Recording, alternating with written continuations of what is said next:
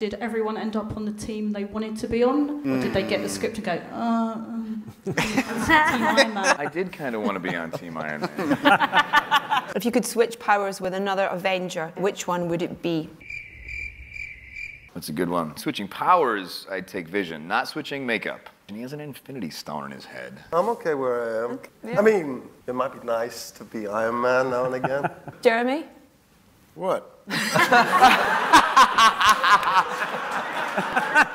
okay, I'm sorry, I don't give you a hard time. Spider-Man. Spider Man? Yeah, I'll do this on you. Get out of here. Get out of here.